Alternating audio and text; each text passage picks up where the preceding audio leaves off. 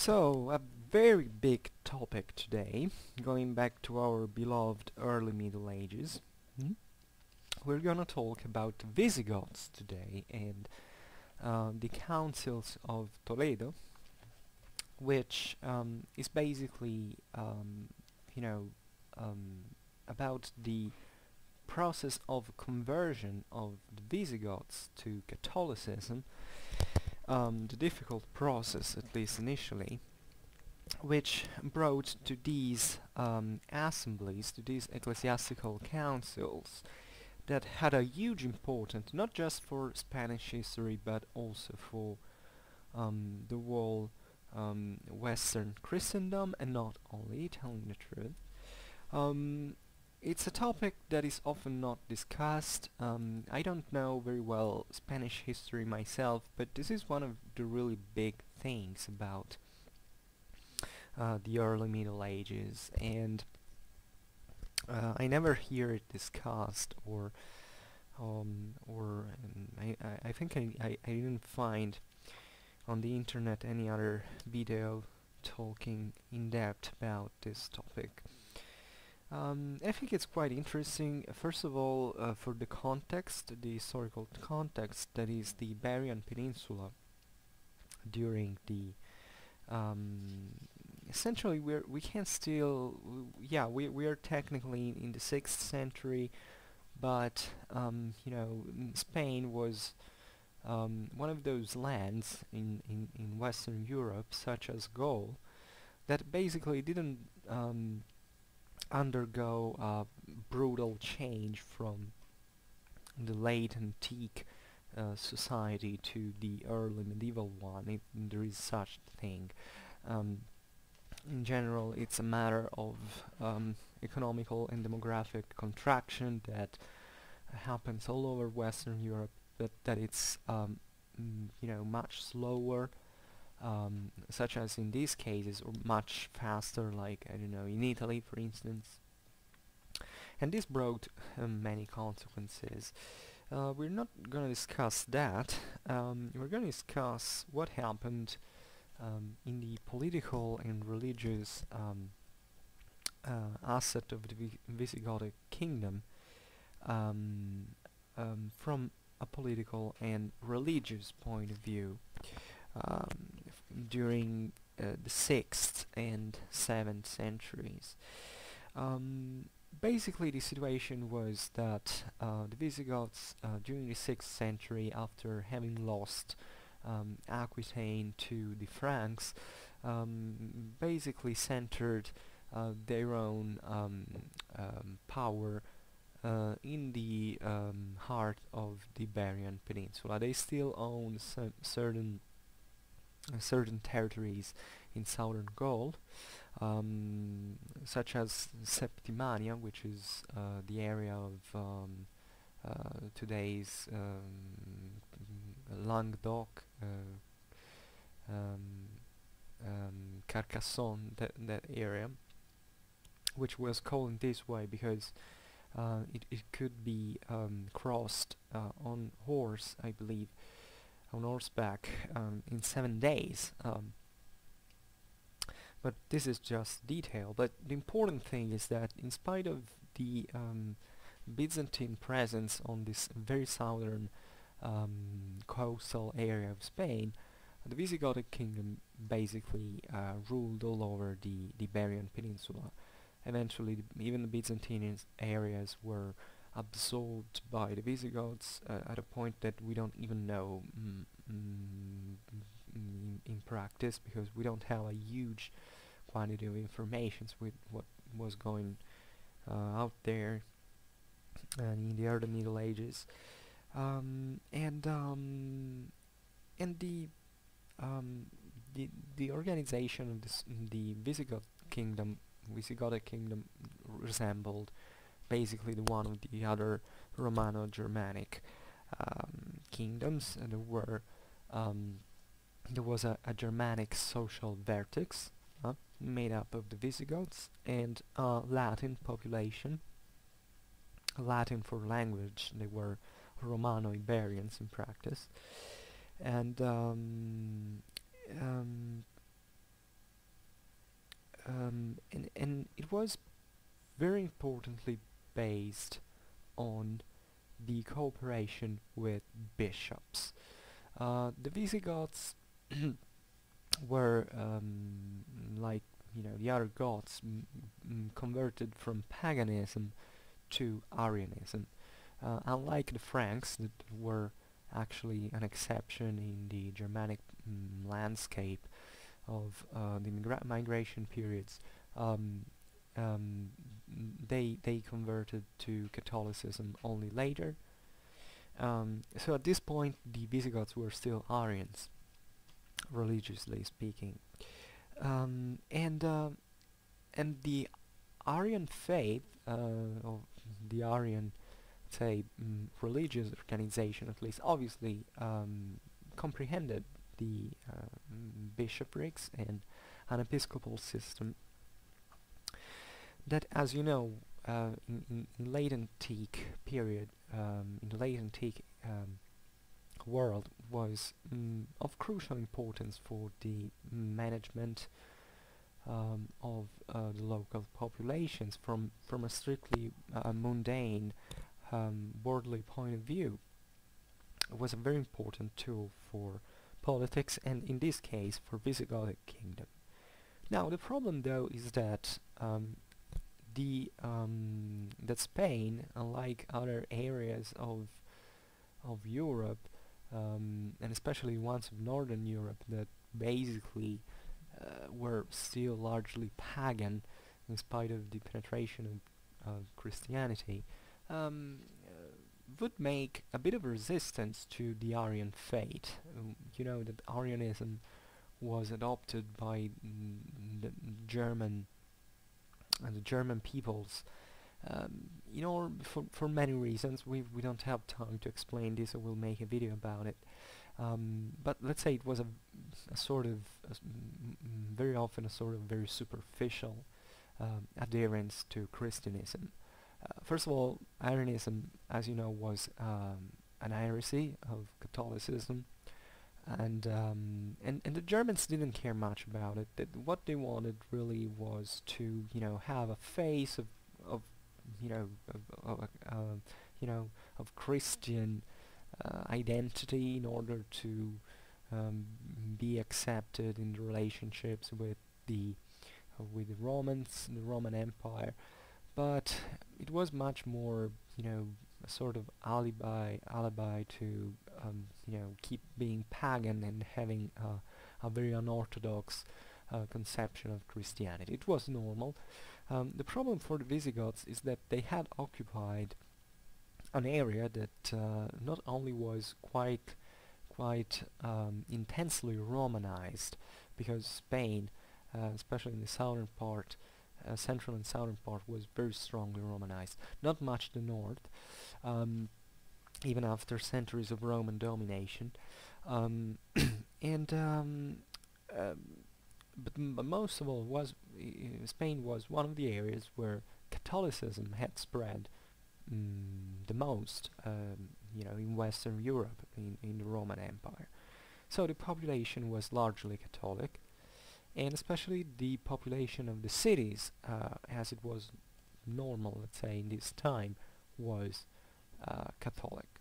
Um, the countryside was, like in other parts of Europe, still retained uh, very, um, very still polytheistic beliefs. I it was normal, but since Spain was built uh, politically uh, and administratively around cities, and the wealth of cities was really what made the Visigothic kingdom, uh, as much as the Roman Empire in the past, uh, work, uh, the Visigoths had to deal with with Catholicism, and especially the fact that they were um, they didn't have the upper hand because when they arrived in arms, these migrating people that could impose its will, and theoretically, it, it was always, um, uh, um, you know, uh, a moment of negotiation, um, negotiation with um, the uh, the local populations in terms of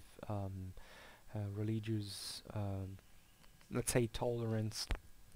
But it's at least the idea that there wouldn't be any um, active persecution because it would have been stupid to be enemy with the local population you want to rule that incidentally was was huge you know the Visigoths were uh, when they arrived in southern Gaul and northern Spain were you know mm, um, some tens of thousands of mm, warriors plus yes of course the the other um, you know female population and kids and and, and, and old people. But the um, the Spanish population the Iberian population was much larger. We're talking about millions at this point. Um, so you understand that from a demographical point of view there was a very few chances that um, with with a you know strong um, very um, uh, deeply uh, Catholic population of millions of people uh, the Visigoths could impose their Arian faith.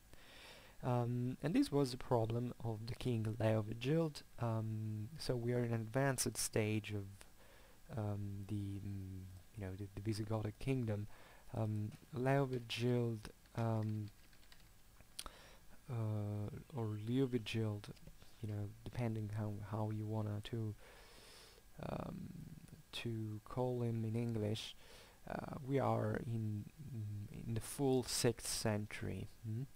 he was born in mm, 519 AD um, and his problem was you know that obviously the, Visigothic kingdom had had developed um, in a situation in which even the Visigoths were uh, getting mixed with uh, the Romano-Iberian population and Catholicism was obviously um, on the rise. Um, this was normal. Uh, the Franks had understood it immediately, they had behaved otherwise. The, the Visigoths were proudly Arian, um, for especially for political reasons, and they had opposed this um, Catholicization of their own um, their own people um, because they still considered themselves as such even if it's exactly during these times that uh, the Visigoths were even you know uh, starting to conceive um, mm, you know mm, more the, the local mm, you know not anymore a difference between the local population and the Visigoths they were even juridically speaking trying to make a uniform um, um, um, group um, for obvious reasons because it was also simpler to uh, to rule um, such a population. And um, and and one of the um, problems that Le Liuvigild had uh, was that his his son um, um, Hermenegild had been um, so you know the the heir I believe uh, was the firstborn or at least the one who was supposed to to eventually rule as um, and uh, as it didn't tell the truth um, and he had been converted hmm, by a very influent um, figure that is uh, that was the um, uh, um, Leander, um, a very important uh, character in in the uh, religious landscape of the Iberian Peninsula because he was the um, the uh, bishop of Sevilla um, and um, which was a very big city, a very important one in southern Spain. It remained so throughout the whole Middle Ages. Um, who was uh, incidentally uh, the uh, member of a very important and great Romano-Iberian family. So you understand that it's, quite a bit of a problem if you are an Arian king um, um, of the Visigoths in this case, and your son, so the one who's supposed to rule after you, um, gets converted to Catholicism, by one of the most influential Roman families uh, that um, are in fact Catholics and are um, fighting against you. Um, a very great victory that witnesses, by the way, the importance of the Romano-Iberian senatorial class in, in Spain, uh, going back to what I was talking ab you about before, that is uh, the fact that Spain uh, had still a very largely functioning um, Roman system. Mm? Um, it hadn't been destroyed and Roman families were uh, were, were quite strong. And, and what happened very dramatically, let's say, is that Hermenegild rebelled against his father. Uh, now I don't go into details, but obviously the the religious part was, mm, you know, the religious uh, element was was quite an important one because it had huge political implications, as a matter of fact. And he rebelled to his father, Liuvigild, and he was killed. so, um, uh, problem solved? No, not really, because um, uh, Liuvigild, um, not happy of having killed his son in this rebellion, wanted to stress, um, as a response, uh, even more the um, um, the, uni the religious uni unification of, of, the Iberian Peninsula, the um, Vi Visigothic kingdom, but you know, stressing the um, the faithfulness to the Arian to the Arian uh, credo, the Arian doctrine.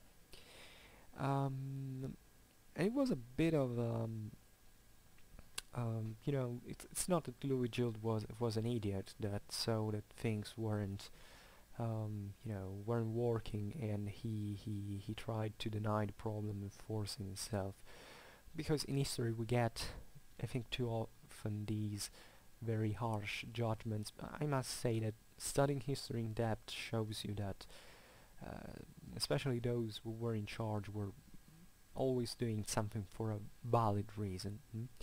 And the valid reason here seems this, that uh, even though um, you know the Visigothic kingdom was from the other side of the Mediterranean um, uh, compared to the Roman Empire, uh, Constantinople still had very um, very um, active uh, aims towards the reconquest of the whole Mediterranean.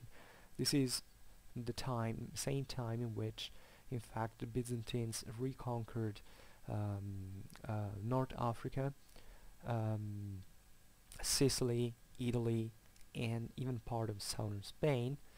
Um, Byzantine influence was very strong all over the Mediterranean.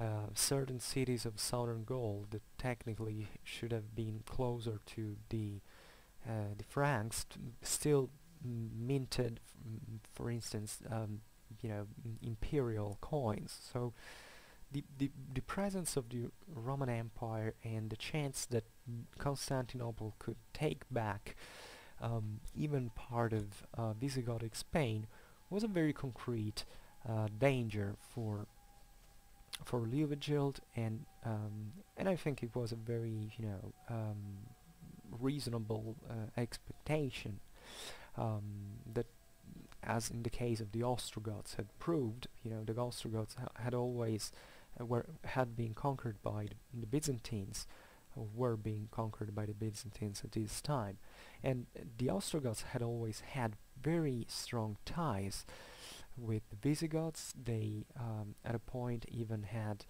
um, um, a sort of um, uh, they, they, made from Italy, uh, Spain, a sort of client state during the minor age of one of the Visigothic kings, um, and um, and therefore, which was possibly Liuvigild. Um, I don't remember this, um, but I don't think so. Um, and um, and therefore, you know, and, and the Ostrogoths were Arian too. Obviously, the Romans being Catholic. So it was a, a great threat you know, the idea that the son of the king could, you know, um, even mm, give space to um, to this option that was by the way strongly supported by the Romano-Iberian um, senatorial families. Because obviously I call them senatorial because it's a sort of um, stigma. Let's say that, that they didn't have a senate anymore there was a senate in Rome indeed but only the Italians belonged to that at this point.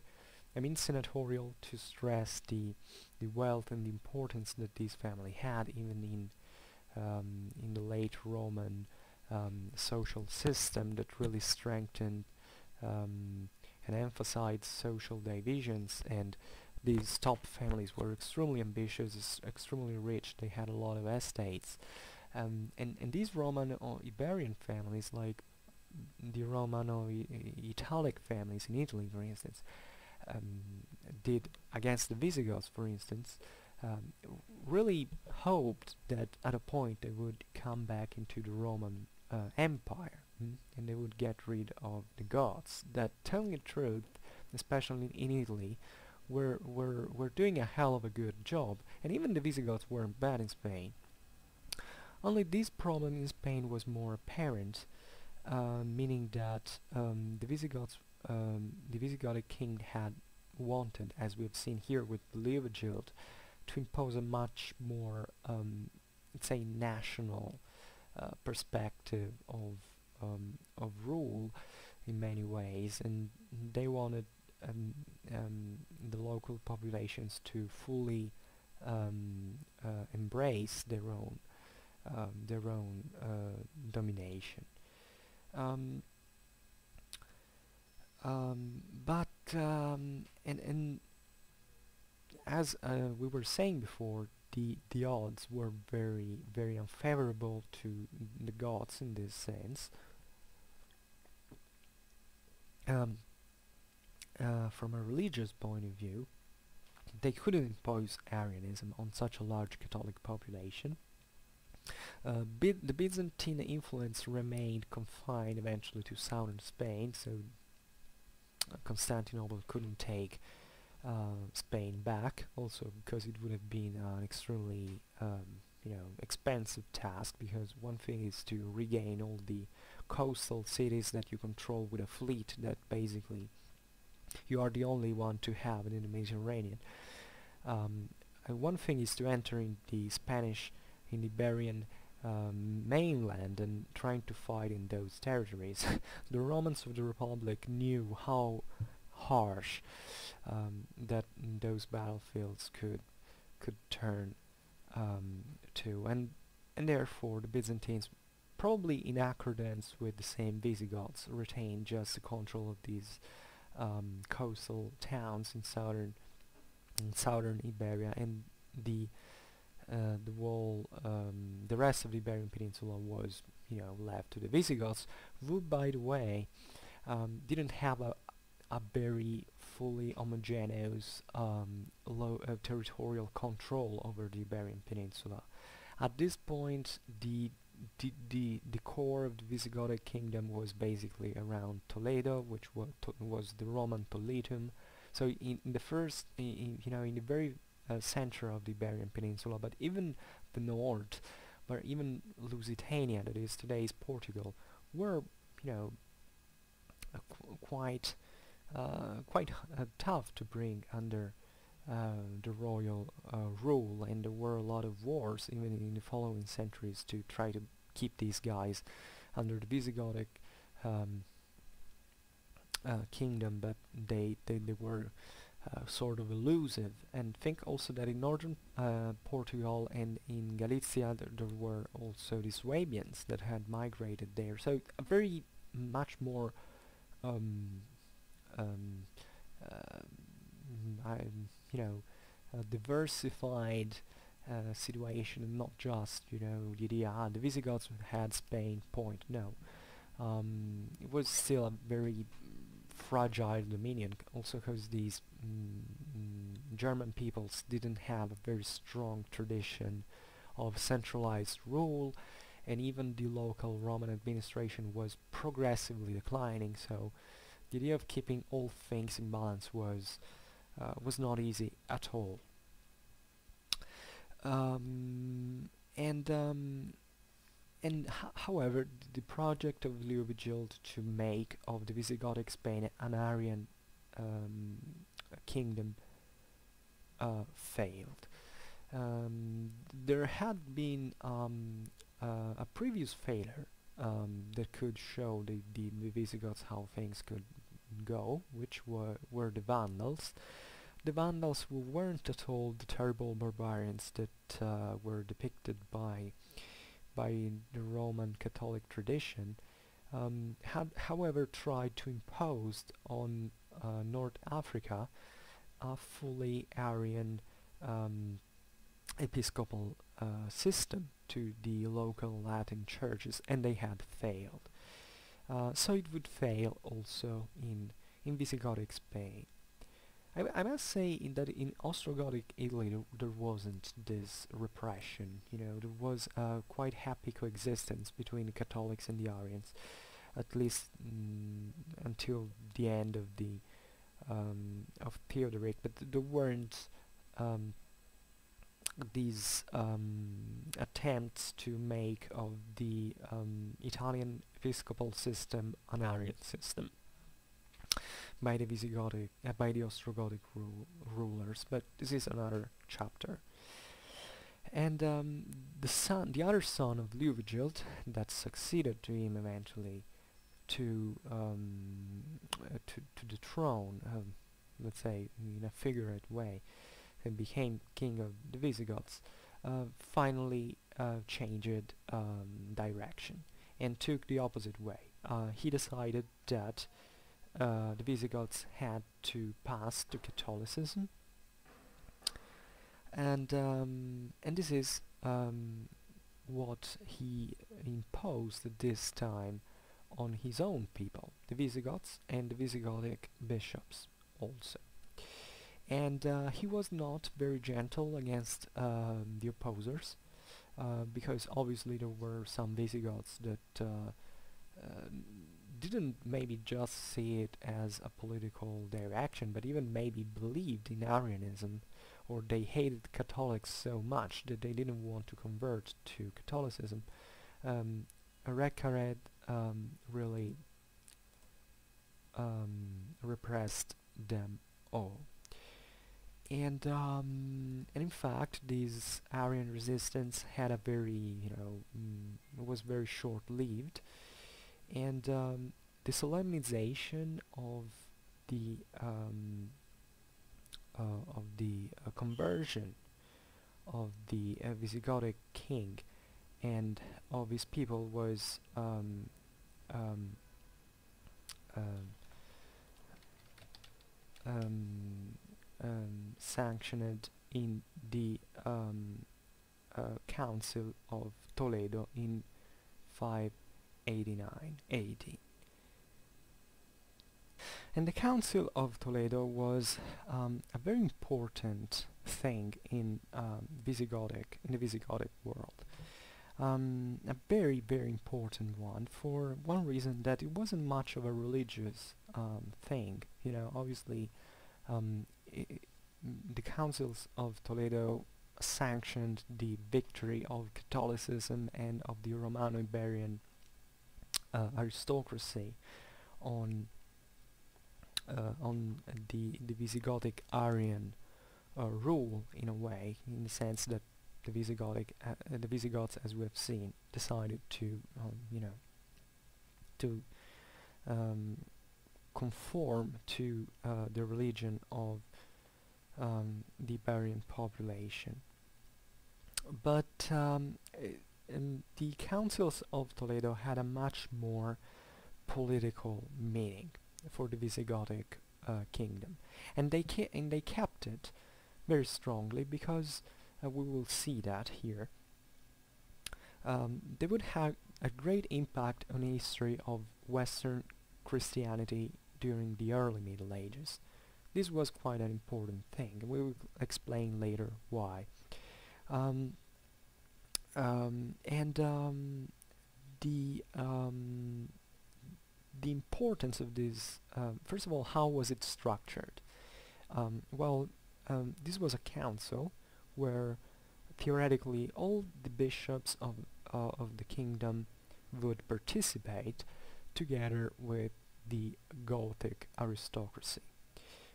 I say theoretically because we said before that the political unity of the Visigothic kingdom wasn't um, wasn't most of the times. Um, you know very um, um, a very solid one. Um, and um, and therefore not everybody would come and the same council of Toledo would become a sort of of political thermometer can we say that to show how many um, uh, you know um, you know uh, because it was a, ma a matter of aristocracy let's be clear here Wh when we talk about bishops we're talking about um, aristocrats. Weren't bishops, you know, raised from nowhere. These were always uh, members of the most important Romano-Iberian aristocratic families, and and with even with the progressive weakening of the Visigothic um, um, monarchy, uh, this council took even the upper hand in some uh, political affairs. Mm? The bishops, so the uh, at this point Gothic Roma uh, Romano Gothic Iberian aristocracy would um, you know even decide to whether to depose or to elect a king uh, at that point um, uh, because the Visigoths had retained by the way also part of their original Germanic uh, tradition of electing kings and not you know sanctioning the passage of you know um, the establishment of a dynasty. Hmm? Here we have seen from Liuvigild to Reccared, yeah, we're um, son, uh, we're, we're, father and son, but you know it wasn't always this way. Um, and um, and I'm not saying that this wasn't um, a religious um, assembly. It, it indeed it, it dealt with very important uh, religious uh, matters. Uh, it emanated the canons um, that had um, first of all the objective to disciplinate uh, the um, together with the uh, ecclesiastical organism of Visigothic Spain the whole life of the peoples and I'm saying peoples at plural because as we have seen, that there weren't just the Visigoths there, um, under um, the um, Catholic tradition. Mm? So it was a sort also of control of the um, full Catholic Christianization of the Iberian populations. Mm? As we have seen, it was the triumph of the um, um, of the cultural um, influence of the aristocracy uh, of the Romano Iberic and uh, aristocracy um, uh, under this episcopal cover, let's say. It's very fascinating. And um, um it was indeed um, also uh, a moment in which um, very big personalities um, could influence um, you know the world cultural Iberian landscape. Let's think for for instance um, of uh, the preeminence uh, this council of the extremely famous famous um, Isidore of Sevilla, hmm? who was one of uh, one of the greatest scholars of, of the early Middle Ages, author of a great um, um, um, um a, a, very large, erudite um, uh, encyclopedical uh, uh, production, works production, and um, and that would influence ultimately the whole medieval culture um, in the West. Uh, Isidore of Sevilla is considered one of the greatest authors. Um, uh, let's say he, he wrote a, a, a, Catholic encyclopedia, if you want, uh, with which all the greatest um, ecclesiastical scholars would and not just them would uh, you know would have to deal when when looking at the past and and, and of the uh, word conception that had been uh, shaped by um, by these works.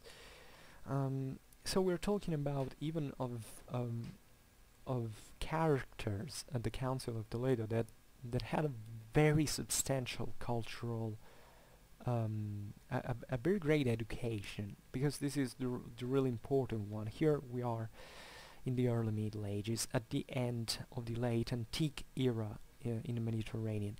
And and these guys were essentially the last great minds uh, let's say in terms of um, intellectual production. It's not that there weren't great minds obviously in the early Middle Ages but in terms of late antique erudition and quantity even of material that they could um, consultate for instance because we, we don't have to forget that many many works that uh, uh, of that came from the classical world were, were still there at that time. Many had already been lost, but uh, this was a time in which those people had books that um, part of which they copied and they write um, straight to us in this sense, but many other um, uh, works that uh, they knew, but we, we don't.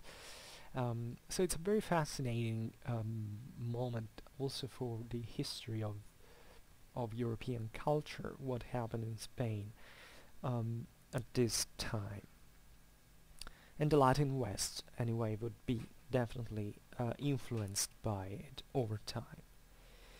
Um, but I think that um, uh, one of the most intriguing um, aspects of uh, the Council of Toledo were the um, the meaning that um, the new institution uh, represented um, um, not just for the um, mm, for instance for the mm, mm, nomination of the new bishops that was an important thing politically speaking but it was mainly uh, obviously um, you know confined to the Visigothic kingdom um, within the, the, the Visigothic kingdom but even the international importance that uh, that it that it had.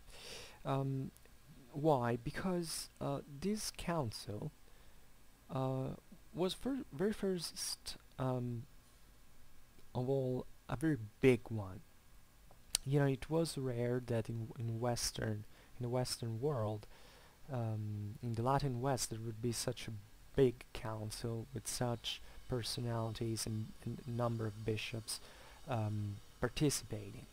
Um, there, there weren't even in Rome, at least there, there were, or in Italy, uh, there, there, were in minor parts. Italy in this time was being ravaged by wars, and Constantinople surely had um, uh, ecumenical council during this time, uh, by the way, busy to justify, more or less justify heresies to keep a balance and a control over um, over the Near East um, uh, for reasons that uh, the people who know about the history of Eastern Christianity obviously uh, know very well. Um, but you know, um, there wasn't much else, you know, in the Latin West, so in Western Europe at this time, uh, the, the, the Visigothic Council was the most, by far, the most important. Um, and um, and this was quite meaningful because you you you have to think that Rome, for instance, that always maintained the um, the um, the the mm, the record of of charity, let's say, the supremacy in terms of center of Christianity, because being the seat, well, you know, Peter and Paul ha had been martyrized, and um, you know, obviously, the the Roman bishop had already by this time a, a very great um, political importance, but um, it wasn't, uh, you know, we're not in the 11th century. Uh, there wasn't still the idea that the center of uh, the Western Western Christianity would be Rome, but there wasn't still the idea that the center that there there was supposed to be a center of Christianity in this sense. You know, Rome was still conceived uh, was as a sort of a symbolic seat with a preference, let's say, that uh, obviously uh, its history had conditioned, but um, here, the for instance, the, the, the the Spanish bishops said, you know, if we make a council here, it still has an importance, and could even overcome the one of Rome. Same had happened uh, in uh, in Africa, for instance. Uh, I mean, there were various um, uh, poles around which um, you know Christ Western Christianity um, was um, was shaping, and, and there was a lot of competition between Rome, Carthage, and and Toledo in this case, and Constantinople, of course. So it wasn't uh, it wasn't obviously said that uh, um, in the end Rome would emerge as the leading center of Christianity from you know from a political point of view.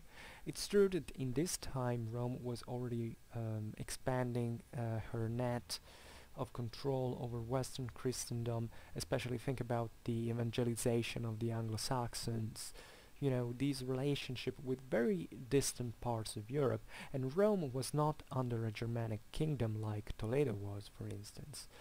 Um, but this didn't mean that it was uh, th the Council of Toledo was less important, because in fact, and this is the the amazing thing, um, um, the um, the the councils of Toledo were a moment of political celebration of the Visigothic kings. Um, the Visigothic king would be called Sanctissimus Princeps, that uh, in Latin means the holiest um, prince, um, and Orthodoxus Rex, which means Orthodox king. And according to you, which model were these guys um, following? They were following the Roman imperial model. They were following the model that was taking place in Constantinople which means um, um, that the Visigoths had a name that was not just uh, a name of mm, territorial unification of the Visigothic kingdom, but it was also a name of creating an empire. Um, the Iberian Peninsula, as we have seen, was fragmented in various peoples, so there was even this idea that the Visigoths would be just one of them ruling over the others, a bit like the Anglo-Saxon would do with the British Islands, islands like saying, you know, yeah, we are the Anglo-Saxons and we rule over um, the the Romano-British people, uh, over the Picts, over even Ibernia. Sometimes they even enlarged it to Norway, uh, even if in later times, but just nominally. Um, and here the Visigoths were doing the same exact thing. They they thought not only they they could be a kingdom, but even an empire, uh, with with um, with an ecumenical council that could sanction the holiness of this empire, and therefore drawing from it their uh, their uh, um, self-legitimization in a sort of sense, and um, and Visigothic kings acquired, for instance, the um, holy um, um, um, the uh, the holy anointing of kings mm, of biblical inspiration but that was also part of the Germanic world because certain kings in the Germanic world had managed to you know get this holy anointing trying to stress their sort of divine nature uh, against this egalitarian traditional mm, you know mm, Mm, asset of the Germanic society. Um, and um,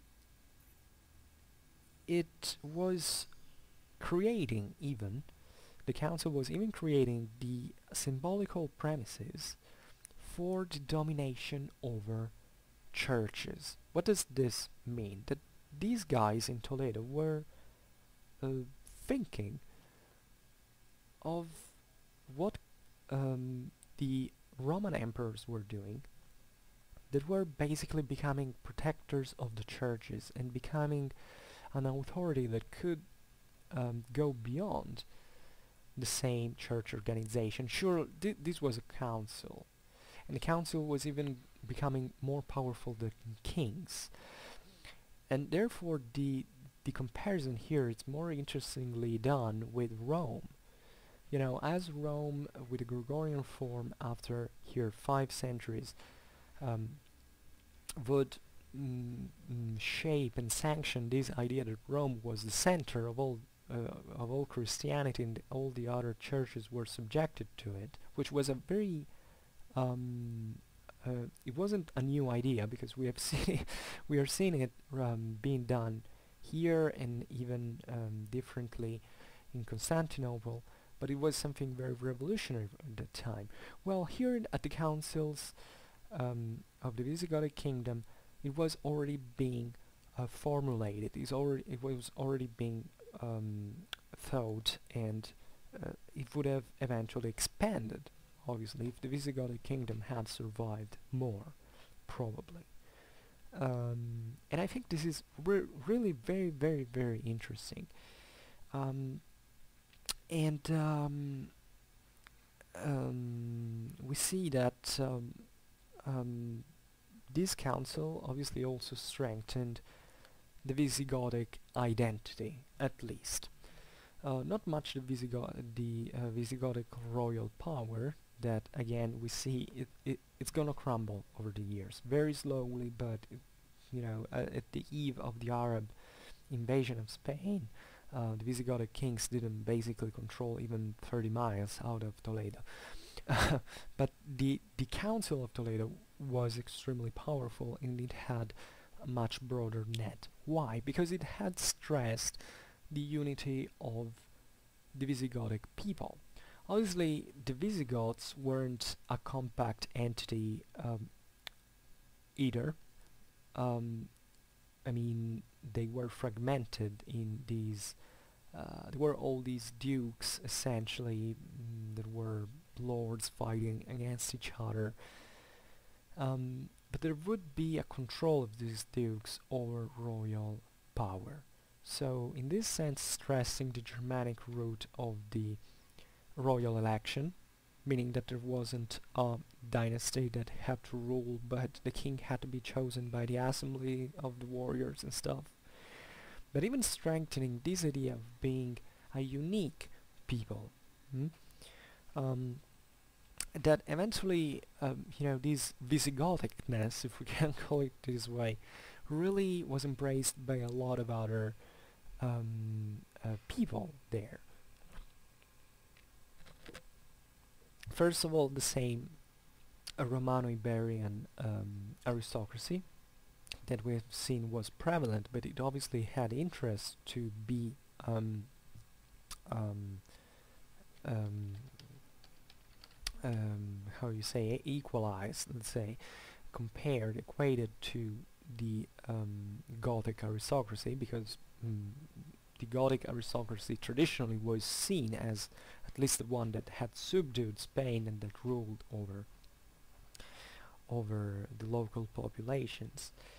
Uh, but also, but also by um, these other mm, lords that I think about ones that were in northern Spain or even the Swabians in some measure that that would that could participate to this big uh, enterprise of of of the the kingdom at least for for how it was being formed. You know the idea of in, in fact in this uh, sense belong um, participating to, to this council through the bishops that they could send from their own territories and that they were their relatives in most of the times. And um, however, uh, we must say that uh, the Visigothic kingdom was in fact declining as such. We see that um, at the beginning of the 8th century, so at the eve of Arab conquest, the um, the late antique uh, society was basically disrupted. Mm. There had been um, um, a brusque um, interruption of late antique society, but obviously there had been a decline, which which had made the um, uh, the um, the the uh, had made declining the the the class of freemen, for instance, that it's always an indicator of the um, economical wealth of, of a kingdom. It's true though that the um, um, the the large estates that belonged to aristocracy in the Visigothic kingdom did not collapse. On the contrary, they expanded in some measure. They surely suffered from economical decline as well because you know the the, the traffics in the Mediterranean had contracted. Uh, there was much more of a you know local net of um, trade and than there had been at the beginning, even in sixth century. I mean this circuit that traditionally um, was was present in the Mediterranean. Um, it wasn't much of the Arabs that caused this uh, contraction, but you know the world decline, demographical decline of, of Europe, and the general impoverishment, maybe even the climate played its part. You know, these these are the very vague yet important um, causes of the decline of uh, the late antique world.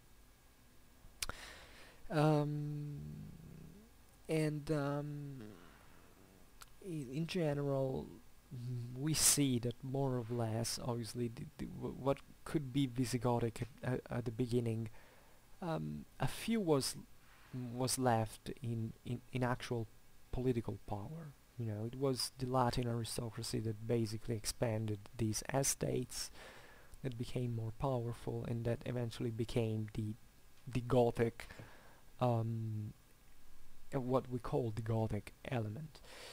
And as we've seen, the, the kingdom was was quite a of a weak thing as the, uh, the fall uh, into uh, under the Arab domination um, eventually proved.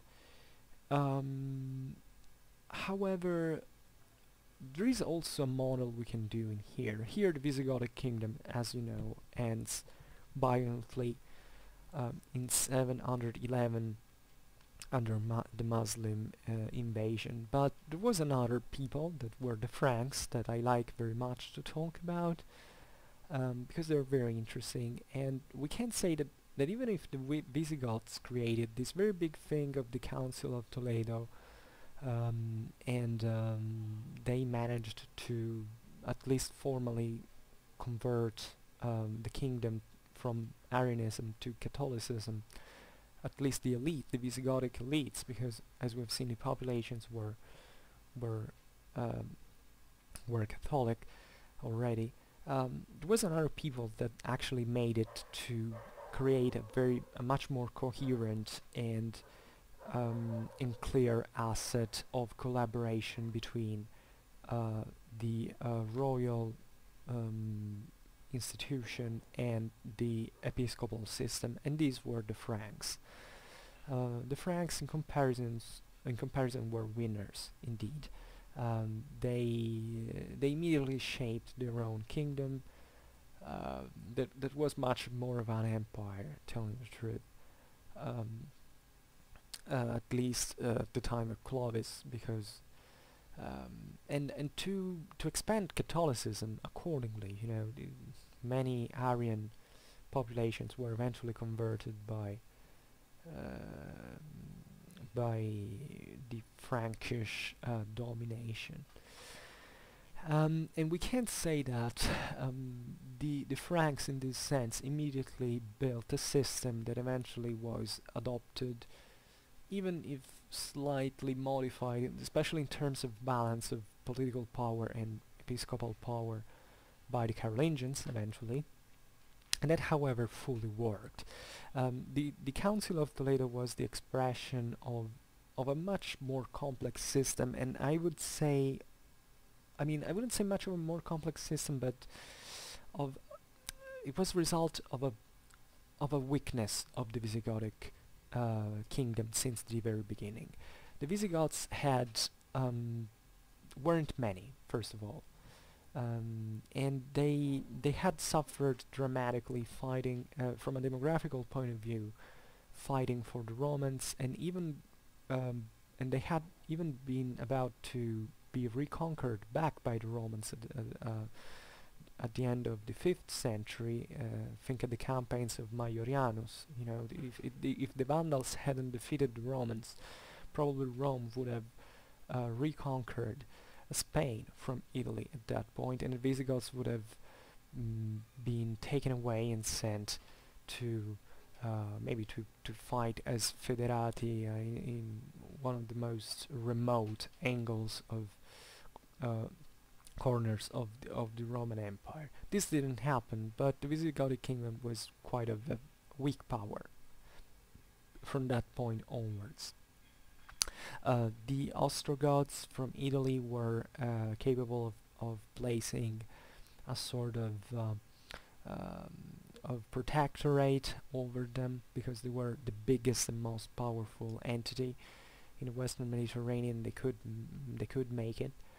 The Visigothic kingdom made definitely some progress in terms of juridical um, organization, of religious organization. Here we are seeing but they uh, and even if they, they they managed to shift after the defeat against the Franks in Aquitaine um, the center of their power in the central uh, in the center of uh, the Iberian Peninsula they always had a huge trouble at controlling the whole um, geographical area and eventually ended to become a very weak power mm?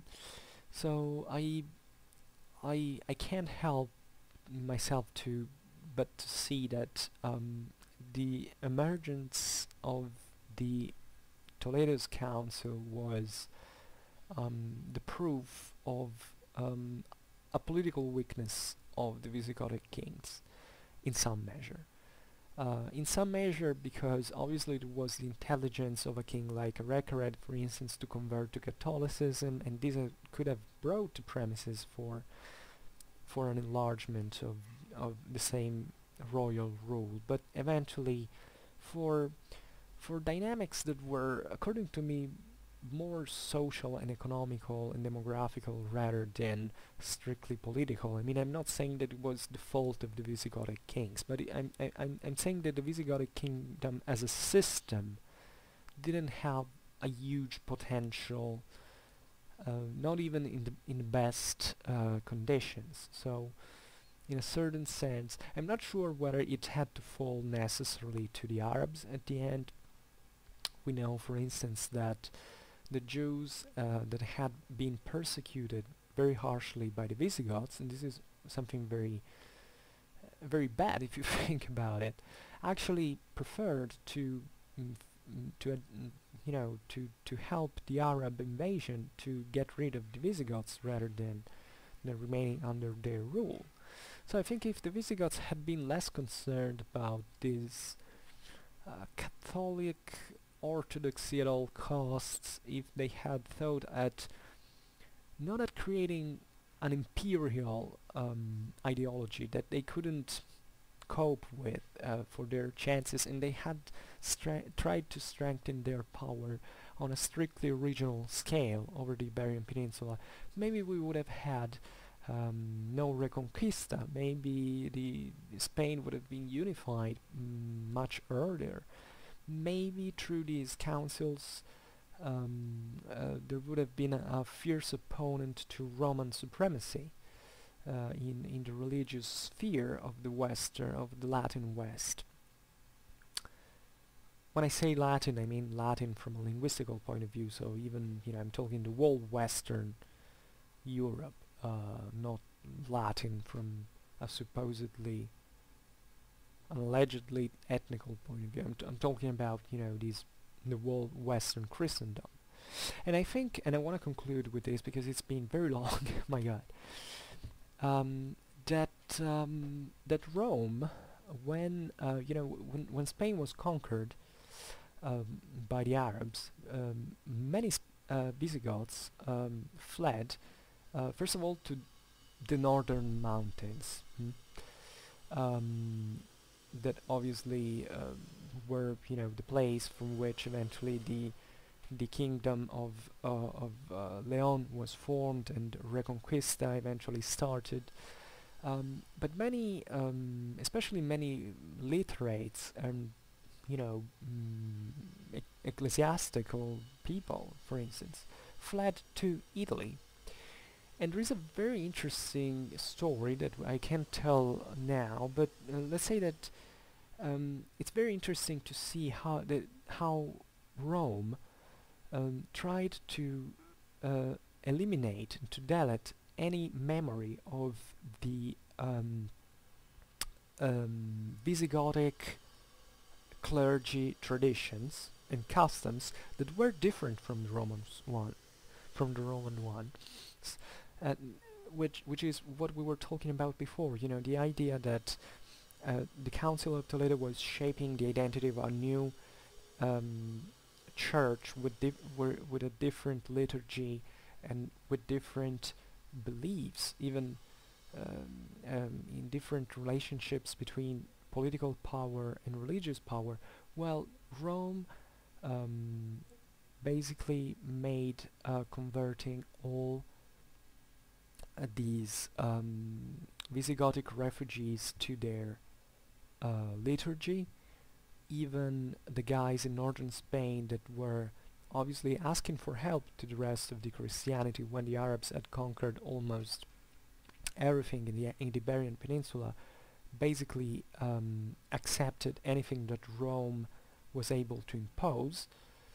Um, and this is very interesting because we're talking about the, the, the first half of the 8th century, so a moment in which the Roman Church was was putting the premises for a territorial rule and even the aid was shaping even at least partly this mm, attitude of being the first among the West, even if it was fully developed century after, centuries after. So it, it's all the more meaningful to see that um, it was a great worry for for Rome to um, to get rid of these um, Spanish competitors um, in the um, you know in the conception of um, you know what the church had to be and liturgy and relationship with politics and so on.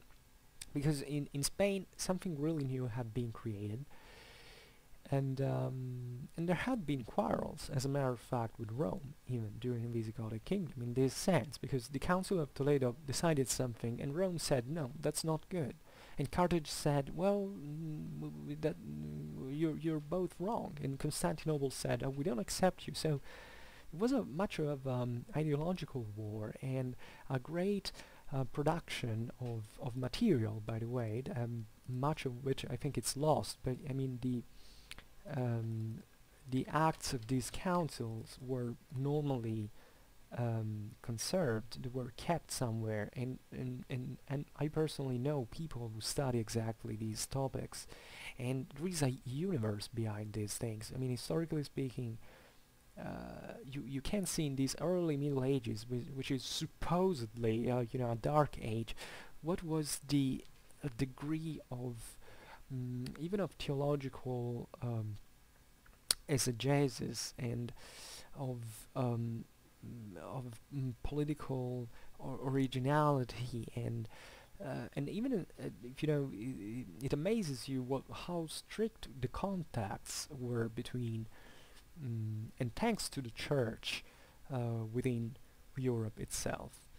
Uh, so fine, it was was a very long video.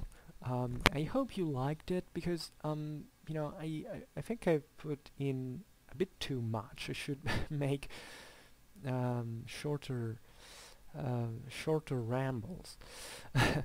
but um, these are extremely fascinating topics, and I I tell you I'm talking about these because I don't hear them told anywhere and this is like it should be like the ABC of, of for of any medievalist of anyone who who likes the Middle Ages who appreciates the Middle Ages um, if you don't understand these processes you think just Middle Ages is you know the ones of your country and that you know it's about all about castles and uh, yeah and, and uh, a few kings. That's not Middle Ages.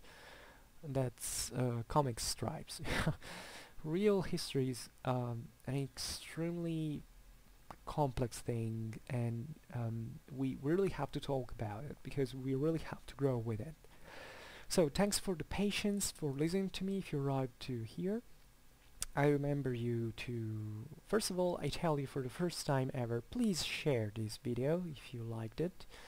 Um, and you helped me um, mm, keeping doing videos and you help me possibly in this sense uh, talking with you and if you have any curiosity whatsoever any question just um, post them on the comments or um, write me and I, I might make a video response to your question so this can um, uh, put things in motion and hopefully build uh, um, a great community around uh, around uh, Schwerpunkt. Thank you once again. I wish you a nice uh, day, night, whenever you are. Bye.